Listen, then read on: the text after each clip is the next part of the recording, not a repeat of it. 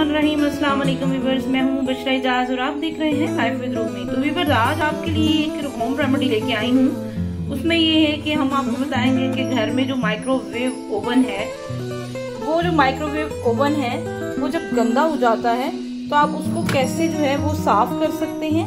ये देखें, अंदर से कितना गंदा हुआ हुआ है। इसकी छत भी देखें। ये सारी चीज़ें जो है, ये आप इसको कैसे नीट एंड क्लीन कर सकते हैं? तो व्यूवर्स आज मैं आपको बताऊँगी कि आप माइक्रोवेव को किस तरह नीट एंड क्लीन कर सकते हैं और इसके लिए हमें जो जो चीज़ें रिक्वायर्ड हैं, वो मैं आपको बताती हूँ। जी तो व्यूवर जिसमें हमें चाहिए एक प्लास्टिक की प्याली, जिसमें जो रफ प्याली हो मतलब जिसमें आप खाना पीना नहीं यूज़ करते हो, उसमें थोड़ा सा पानी चाहिए और हमें दो अदद चाहिए लींबू और हमें चाहिए ग्लेंट जो ग्लास क्लिनजर है या जो वैसे नॉर्मली ग्लिंट है, वो चाहिए और हमें चाहिए टिश्यू तो बस ये चीज़ें हमें चाहिए। अब मैं आपको बताऊँगी कि हम कैसे जो है वो माइक्रोवेव को क्लीन करेंगे। चलें, अब हम आपको बताते हैं कि माइक्रोवेव को कैसे क्लीन करेंगे। जी तो व्यूवर्स सबसे पहले हम लोग क्या करेंगे कि इसके अंदर ये जो ग्लास की प्लेट है, इसको हम निकाल लेंगे। और इसको निकालने के बाद, इसके अंदर ये जो रिंग है, ये भी निकाल लेंगे। और इसको निकालने के बाद हम इस ग्लास की प्लेट को, जैसे बर्तन वॉश करते हैं, वैसे ही इसको वॉश करेंगे। तो आइए देखते हैं कैसे करते हैं।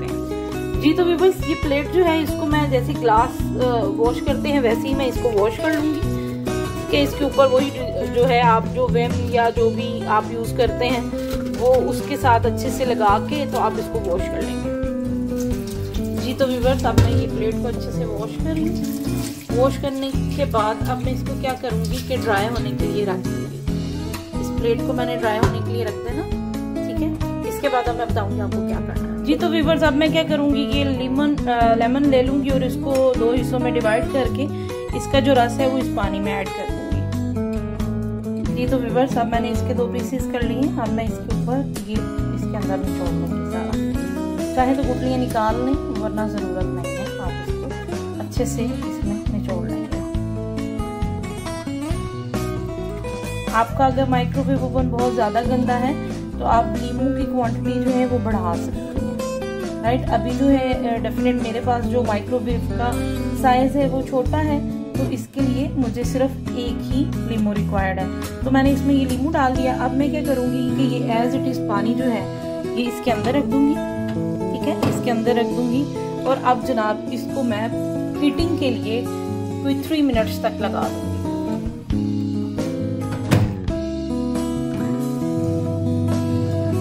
व्यूवर्स अब इसको मैंने थ्री मिनट्स तक लगा दिया है। तो इसके बाद जैसे ये खुलेगा तो फिर मैं आपको इसके रिजल्ट्स बताऊँगी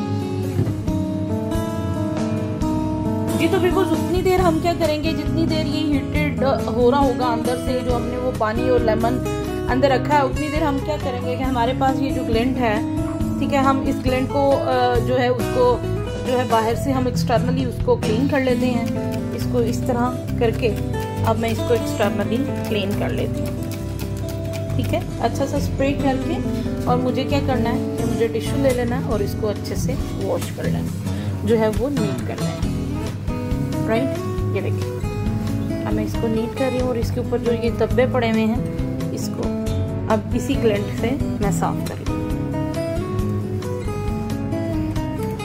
ये हाथ लग जाते हैं आपके सालन के ऑयल के, जिसकी वजह से जो है ये इसकी जो बॉडी है वो गंदी हो जाती है। तो आपको इसकी बॉडी को नीट करने के लिए जो है वो ये सारी चीज़ें रिक्वायर्ड है।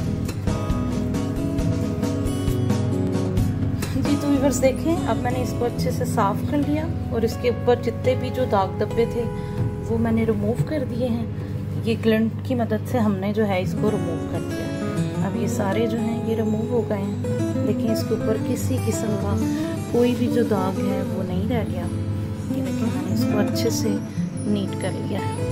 सारे का सारा, आप इसको अच्छे से जो है वो नीट कर लेंगे।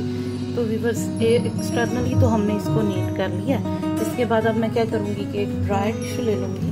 तो ड्राई टिशू से इसको अच्छे से मैं जो है वो इसको साफ़ कर लूँगी।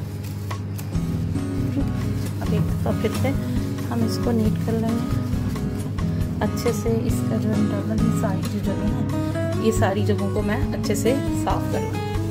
इसको साइडों से अगर साइडों पे कहीं पे है तो आप साइडों से भी इसको साफ़ कर सकते हैं। तो देखिए, ये सारा मैंने साफ़ कर लिया तो वीवर्स अब हम क्या करेंगे कि इधर हमारा टाइम जो है वो पूरा हो चुका है। अब इसको हम खोलेंगे।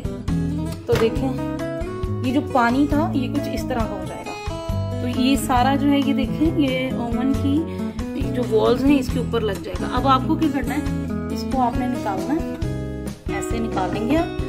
और आप क्या करेंगे? क्योंकि ये गर्म है, आप इसको निकाल के रखेंगे, और उसके बाद आप इसको अच्छे से अंदर से जितना भी है ये सारी, देखिए उसकी वॉल्स के ऊपर जो है वो सारा लग गया। अब मैं इसको क्या करूँगी कि टिश्यू से अच्छे से साफ़ कर दूँ जी तो व्यूवर्स अब देखें, ये देखें, आराम से इसकी वॉल से सारा रिमूव हो जाएगा। मैं आपको भी दिखाती हूँ, जैसे इसकी वॉल के ऊपर ये लग जाएगा, ये देखें, ये सामने से मैं इसको नीट कर दूँगी। ये देखें चूँकि वो जो सीरप था, पानी और लेमन का, वो इसके अंदर लग चुका था। इसकी वॉल्स के ऊपर चारों तरफ़ लग गया था। तो जनाब अब देखें, ये देखें, इसके ऊपर जितना भी आपका ये था कचरा, वो सारा जो है इसकी वॉल से आपने रिमूव करना। जी तो व्यूवर्स देखिए मेरा अंदर से माइक्रोवेव अच्छे से नीट एंड क्लीन हो गया है। और ये देखें, इसकी वॉल्स देखें, मैं आपको सारा इंटरनली और एक्सटर्नली दिखा रही हूँ कि देखें मेरा माइक्रोवेव कितना नीट एंड क्लीन हो गया है। और इसमें अब मैं इसकी जो ग्लास प्लेट है, ये भी लगा दूँगी।